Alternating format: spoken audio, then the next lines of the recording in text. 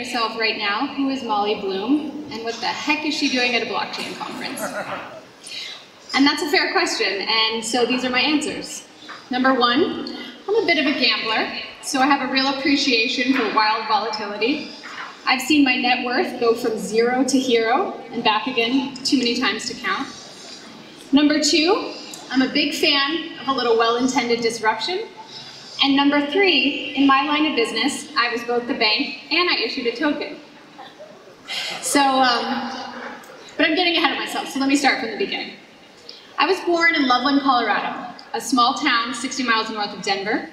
I was born to two parents who cared deeply about raising compassionate and successful children. And I lived in a, you know, a, a pretty much only child bliss until my brothers were born. And these weren't any normal brothers, you guys. These were tiny, evil superhumans. Jordan, my middle brother, came out just a genius from birth. I mean, by age five, he was beating my father in chess. He was testing out of his math class, into mine, out of mine, and uh, he went on to be a Harvard-educated cardiothoracic surgeon. My youngest brother, Jeremy, uh, was a little athlete prodigy, and he uh, is a six-time world champion, two-time Olympian, and he casually went from the Turin Olympics to the NFL Combine, where he got drafted fifth round to the Philadelphia Eagles. So this is what I was dealing with. So basically, the turnout here was that starting at my dinner table, I was neither the smartest or most talented in the room. So I had to compensate for that by being the hardest worker. I was also a dreamer, and I dreamed my life big or bigger than my brother's. And the first dream I had was to be an Olympic skier. Unfortunately, I did not have the natural talent that Jeremy had, and at age 12 I was diagnosed with scoliosis. The doctors told me that if I didn't get surgery, I would become deformed and I would slowly suffocate. They also told me I would be uh, on my back for a year, homeschooled, and that my ski career was over. Well, I couldn't imagine my way out of suffocating, but I could imagine my ski career back on the snow in a year, and that's what I did. And for the next eight years, I showed up early to training, and I left late.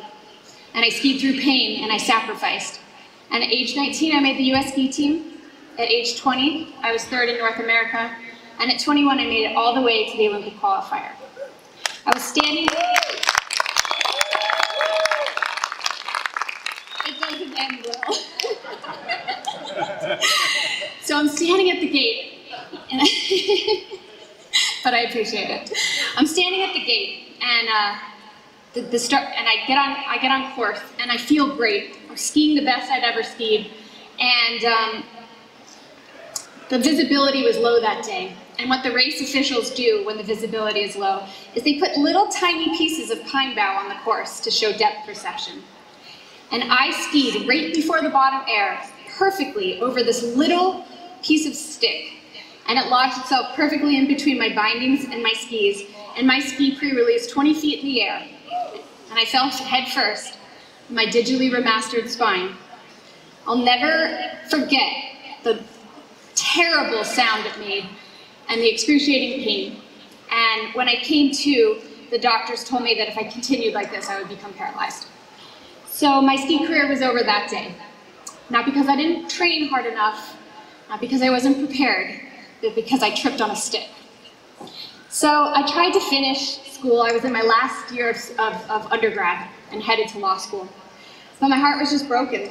I looked out at those mountains every day. I went to the University of Colorado and I could see the mountains and just needed to get out of town and I wanted to be young and free and just be a kid for a little while before law school.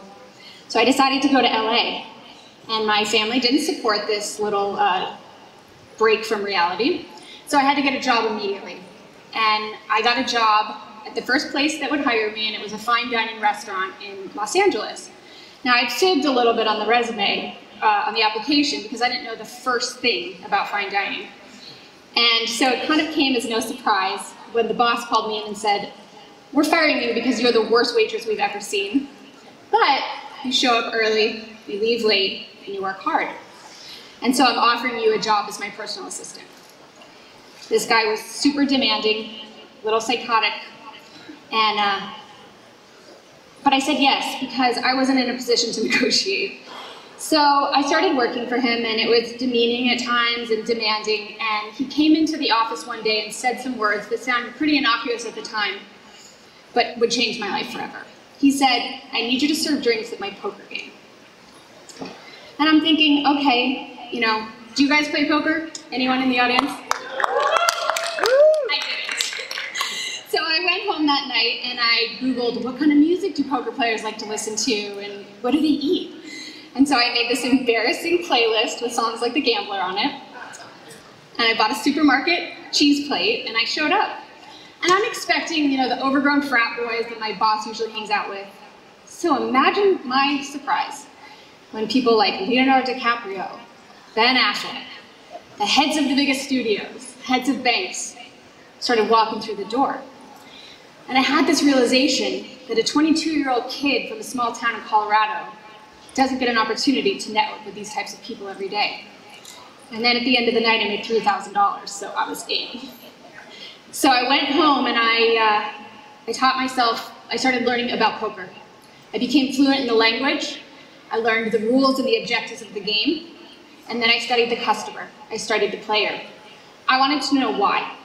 Why these people, with all their access to anyone and anything in the world, why they wanted to come to this dingy basement and play poker every week with my cheap supermarket cheese plate and red solo cups. And what I landed on was these guys had all the things that they wanted. They wanted experiences. They wanted to come into this room and be somewhere and someone else for a night. And so I started to build on that. And I built on that through conferring value, through re remembering what people like to drink and eat, uh, forging alliances, and people took note, and so did my boss. And he said one day, um, I need the list of the players and the accounting you've been keeping because you're done. And it had been eight months. I had made a lot of money, and I could see how to turn this into a business. Um, so I couldn't go back. I couldn't go back to being an errand girl, to being demeaned. But going up against him meant going up against someone very rich, someone very powerful, someone who worshipped at the altar of Machiavelli and believed in destroying their enemies. And I'm a 22-year-old kid. It also meant asking the Billionaire Boys Club to forego one of their own and trust me with their game and their money. But as Wayne Gretzky says, you miss 100% of the shots you don't take. So I knew I had to take it. So I organized a game the following week without him. I invited all the players. I moved it into the presidential suite at the Four Seasons, and I told everyone that I was going to run my own game, and they were welcome to come if they wanted. And they did. And now I was the owner and operator of the game. And I was able to pull in all these things that I thought I could do to make this a better business. Number one, I raised the stakes from 10 to 50,000 because economics matter, particularly when it comes to experience and escapism. Number two, I hired a full staff of beautiful people to serve drinks, to memorize everyone's preferences, because never underestimate the value of people being seen, heard, and remembered. Number three, I needed new players. I needed customers. Um, and so I came here to Vegas, and I made a deal with the casino host. I said, look, I've got some of the biggest gamblers in the world. I'll guarantee you X amount of trips. I'll bring them in here, they'll play. But I need names and numbers of the biggest poker players in the area. And it worked. I had a full game and a waiting list. And I was the owner and the operator and the CEO of one of the biggest poker games in the country. But I had a silent partner. And this guy was a really big, famous celebrity. You've all seen him in movies, but what, you would, what would shock you is how obsessed he was with playing at this game. He was out for blood. He didn't even care so much about playing as he did about taking people's money or crushing their souls, as he called it. and that was all fine, but he didn't want a fair fight. He played dirty, he played unfair, and he started cheating with another player. And I had to put my foot down. And it culminated with a very weird standoff. He came up to me at the end of the night and said, here's your chip, here's your thousand dollar chip. But I need you to get on the table and bark like a seal. And I'm like, what? but he was serious. And 30 minutes later, with my face beat red, and all the players had stopped playing poker and was watching this, this demand, And I knew this wasn't about barking and $1,000. This was a demand for compliance and submission. And I couldn't do that. And I knew it would cost me the game. And it did. He leveraged, his star power and took everything from me. And overnight, like tripping on a stick, I had lost everything. I was terrified of going back to being a no one. I was heartbroken, but I was pissed. And I said to myself, I'm not going away quietly. And even more than that, I'm going to go bigger. And this time I'm building an empire that nobody can take. And so I thought the best place to do that was New York City. Yeah. Got some New Yorkers in the house. so I took exploratory trips, but it was 2008, and Wall Street and the economy was facing devastation. But I didn't care. I just saw the win. And by the end of 2008, I had built a game five times bigger than my LA game, $250,000 buy-in.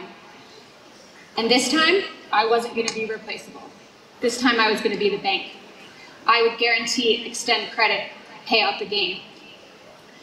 And this game was populated by huge Wall Street titans, um, international billionaires, sports stars.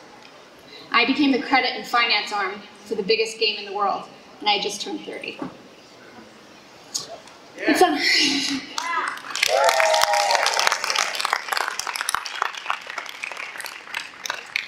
something changed in me in New York, though. It stopped being so much about guts and heart. It started to be about greed and power, and it was never enough. I spent every waking minute that I wasn't running a game recruiting players, taking trips to Miami, trips to Europe, going out every night with the girls and, and recruiting players. And, and by the end um, of the year, I had a game running every minute of every day and every night. And um, my exposure was enormous.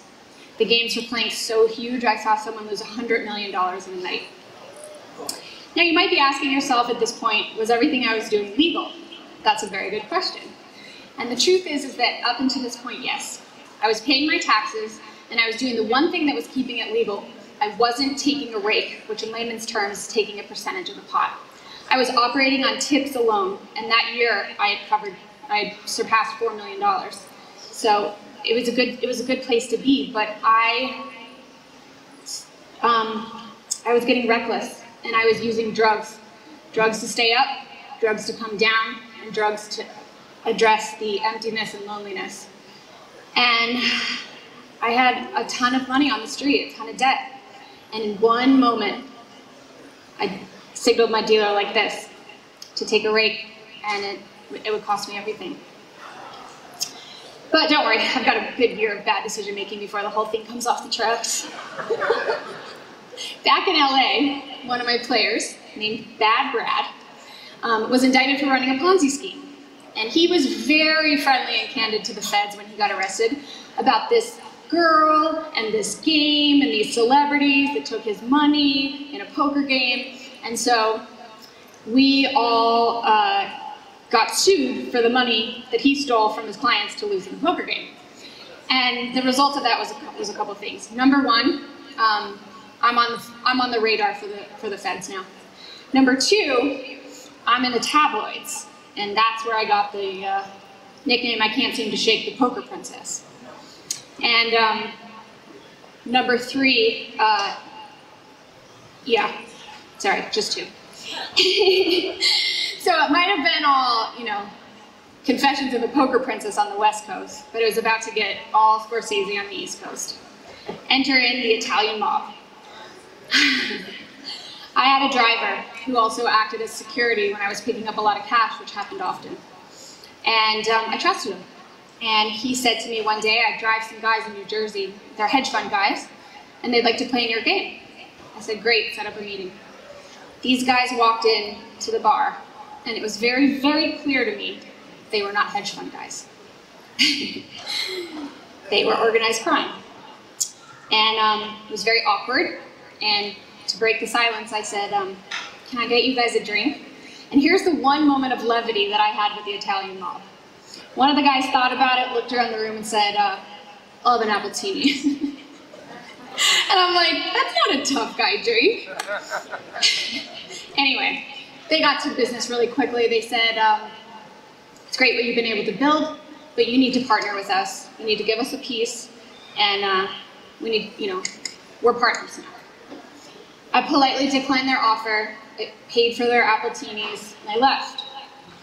And um, then I just started uh, evading their phone calls. I just was ignoring them.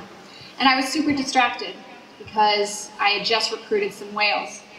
And whales in gambling speak are players that give a lot of action, that have a lot of money, and that want to play often. These were Russians from Brighton Beach, but their story checked out. They were well dressed, well educated, and these guys were playing huge. And um, I just kept avoiding the calls of, of the Italians, and around Christmas time in 2010, a guy knocked on my door, and I thought it was my doorman. And he pushed his way in and put a gun in my mouth, and he beat the hell out of me, and he robbed me. And before he left, he said, the partnership isn't optional. And if you tell anyone, we're going to Colorado to see your family. I'm going to Colorado to see your family. So I stayed inside for three weeks. I let my face heal. I didn't tell anyone. And in January, the headline on the New York Times said 125 people arrested in the biggest mob-related takedown in New York City history. And I never heard from them again. But it's still coming off the tracks. And uh, my Russian friends, turns out, were much better at impersonating legitimacy than the Italians.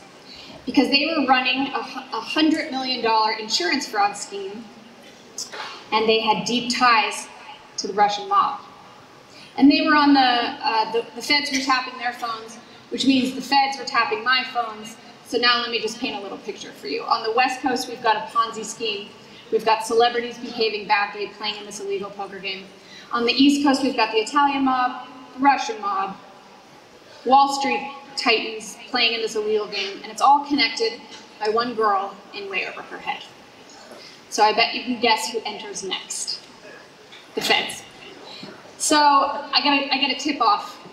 Uh, my, one of my poker dealers called me and said, the feds are, the FBI's here looking for you, you need to go, you need to leave town.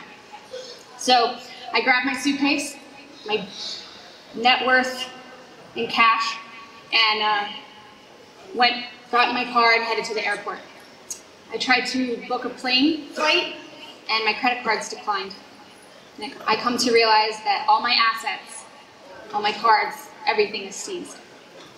In a matter of seconds, my net worth went from millions to zero. So all the cars, the penthouses, the games, the friends, the parties, it's all gone. I moved back home with my mom. She lives in the wilderness of Colorado. And I stayed in bed for a good three weeks, feeling sorry for myself. And finally, my mom dragged me outside because I swear to God, moms think that fresh air will cure everything. but she was kind of right. Because I stood out there and I looked at those mountains and, you know, those mountains that had raised me, and something woke up inside of me and I decided I wasn't going to quit and I wasn't going to fail. So I took kind of a humorous look at uh, what was left of my life to see if there was any assets. And there wasn't much, but I felt like there was a story. And I felt like if I could tell the story in the right way, maybe that was my way out. So I went to New York publishers and I tried to get a book deal. But all they wanted was a celebrity takedown piece. They wanted a book that was just going to gossip about the celebrities. And I thought that there was a better story than that. But I found a publisher that signed on, and I got a modest book proposal. And I wrote the book. It took me about a year and a half. And when I finished, I took what was left of my proposal, and I sold some jewelry, and I moved to, to Hollywood to pitch to Hollywood. Well, 10 days later, I got a call in the middle of the night the voice on the other end of the line said, this is Mike so-and-so from the FBI. You need to come out of your house right now or we're breaking down the door. I'm like, there's some mistake. I haven't run a poker game for two years. Anyway, I went into the hallway and I was blinded by all the bright lights, but when my eyes adjusted, I saw 17 FBI agents with semi-automatic weapons. They arrested me, they put me in handcuffs, and they said, you need to read this piece of paper. And it said, the United States of America versus Molly Bloom. That was a bad day. So, turns out, the government wanted what the tabloids wanted, what the book publishers wanted. They wanted dirt. They wanted my information. They wanted me to be a confidential informant. And if I did that, they would give my money back and they would give me immunity. But I knew I couldn't do that. I had built these games, I had profited from these people, and I had to stand for my choices. And it was me, in the end, who decided to break the law. I mean, this was all because of me. So I passed on the deal. I was looking at 10 years. I went to federal court, and uh, I got a really nice judge. And that judge said, I don't see how justice is served by putting Molly Bloom in jail. Yeah.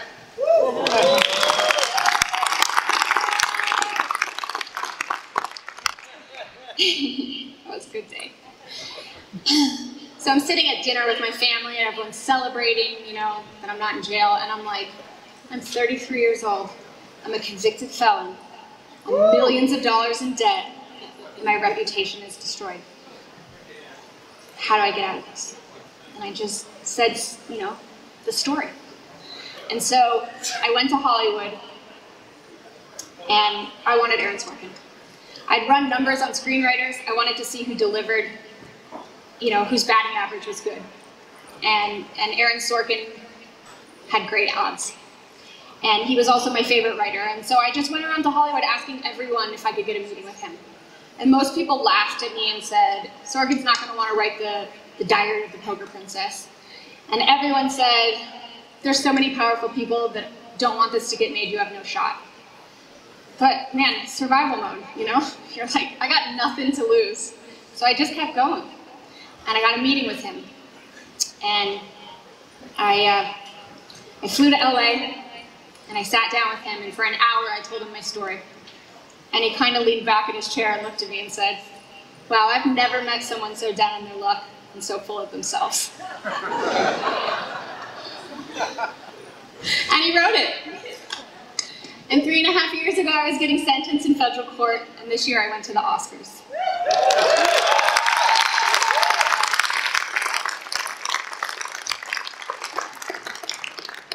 Because your reinvention is there anytime you want it, truly. So what does this mean and what does it matter?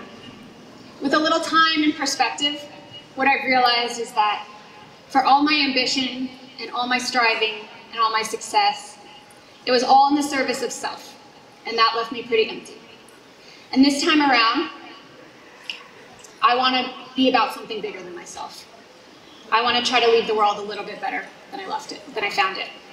And that's something that draws me to blockchain. Um, I see blockchain as a brave new world, as a move towards transparency and accountability, and away from corruption and monopolies. And I think in the right hands, done the right way, blockchain is really a revolution for good and for all. And that's something I still want to be a part of. Thank you for having me. Thank you for listening.